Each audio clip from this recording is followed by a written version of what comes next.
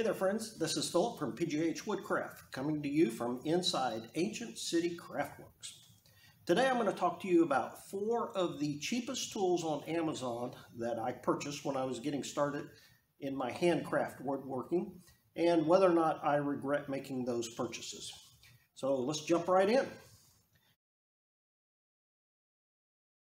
I'm going to do this in the order that I purchased them, not in the order of quality or how they worked out for me.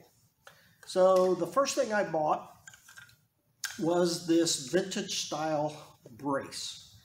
Um, this was uh, around $15 on, on Amazon and I got it and immediately noticed that the mechanism here was a little bit clunky. It's rough in there. It doesn't feel like it's been ground down properly.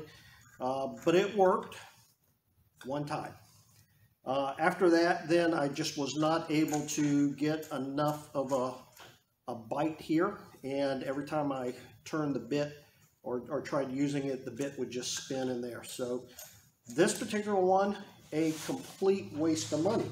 And one of the reasons I say that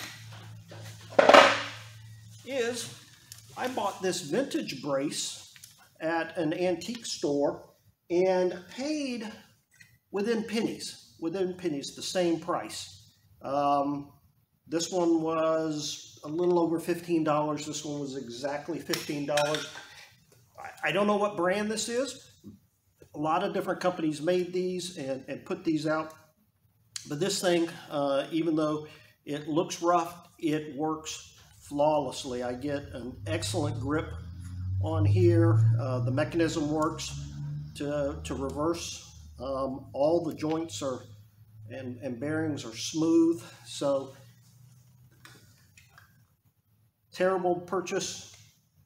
This is actually uh, the one I should have gone with. The next thing I bought was this spoke shave. I needed a spoke shave to do some, some curved work on a charcuterie board that I was working on. Uh, it was my first charcuterie board. I needed to do some curves. I had never used a spoke shave before. Um, saw a couple of videos, and uh, so I thought I'd give it a, sh a shot. Uh, this was the cheapest spoke shave on Amazon. Uh, again, I don't know what the brand name is. It came with five replacement blades. Um, you know, this thing is okay. Um, the, the adjustment mechanism is a little clunky um, and it, it, doesn't really stay in adjustment uh, very well. But if you look at it, um, and this is a piece of oak that I have here. Raise this up a little bit so then you can see it better.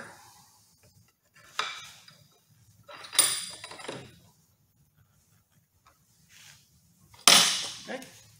It actually does a pretty good job rounding off corners. Okay. Needed to get uh, needed to sharpen it when they when they came in, uh, but the blades do work, and uh, so I, am actually pleased with this this purchase right here. Uh, I'm still I'm looking for a vintage version of this, probably an old Stanley um, once I can find one that, that I think is a reasonable price. Uh, and that'll up my game a little bit. But purchase number two, I'm actually quite pleased with it. Cheap spoke shave off of Amazon. All right, purchase number three. Um, carbide marking gauge. Uh, the, the marking gauge itself works okay. It has the, the brass top here. Uh, this is a plastic uh, handle. Uh, it locks down and holds okay. Uh, the problem is that the cutters that came with it were absolutely so dull they it, they won't put hardly any indent in the wood. So uh, not happy with the, the cutters themselves. There are also, also graduation marks on here so you can measure, but they are so faint that does me no good at all. So anyway, I have to uh, physically measure or put it up against there. Um, I'm going to try and see if I can get some, some cutters, different cutters in here that might work better. But out of the box, this thing, no good. would, wouldn't work for me at all. The, the, the cheap Amazon purchase that I'm probably most pleased with is this number four style hand plane. Uh, this is marketed by a company called Spear and Jackson.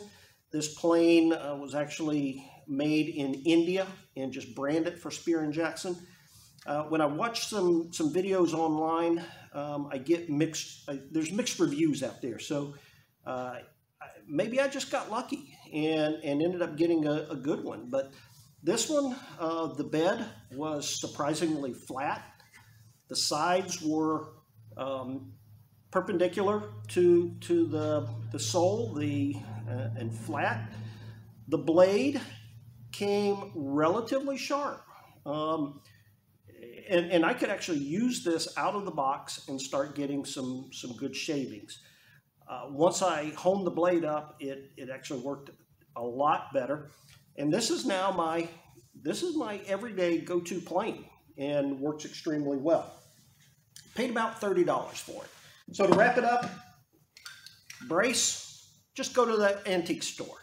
Get you a, uh, a vintage one. These things are all over the place. You can pick them up anywhere from 5 to $15.